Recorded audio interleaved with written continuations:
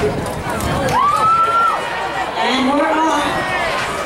Airhill, Whitefield Lake, Rosemount, Lakeville South, Jefferson, and Durham Health are measured Duluth, East, and Crescent. The fastest finalist from last year's 4x4 in this heat, Great Virginia Lakeville South, they were third last year.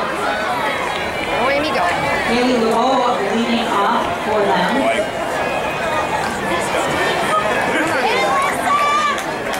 Bloomington Jefferson in the light blue in lane five. Running well, that sophomore Alyssa Lynn. for Jefferson.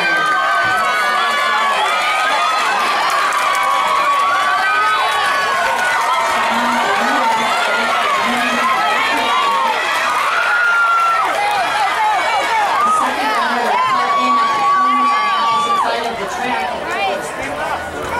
This is Rachel Lee from Bloomington Jefferson. Pretty good time. For Rosemount and Josie Johnson for Lakeville South.